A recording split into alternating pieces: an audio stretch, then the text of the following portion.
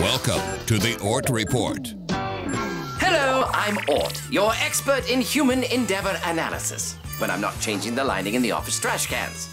In today's cosplay corner, I'll be analyzing Dean L.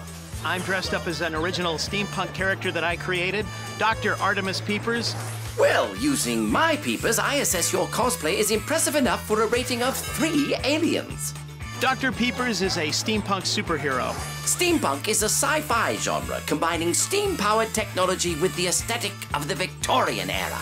I even hold an annual Dr. Peepers Halloween party. A party, hmm? It's gonna be rocking. It's gonna be great. Is it? Is it really? So sorry, it seems I missed the RSVP cutoff. I guess your invitation got lost in the mail. Keep watching Comet for more of the Ort Report. Space out!